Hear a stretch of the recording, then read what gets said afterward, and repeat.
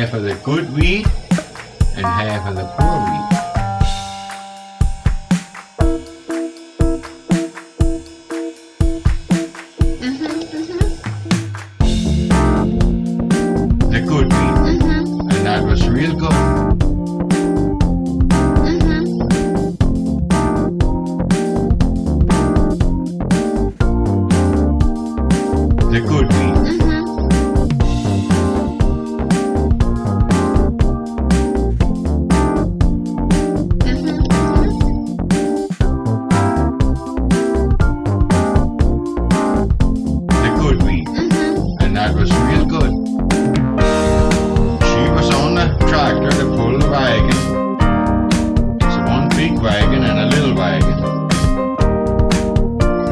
the little bag behind the big bag.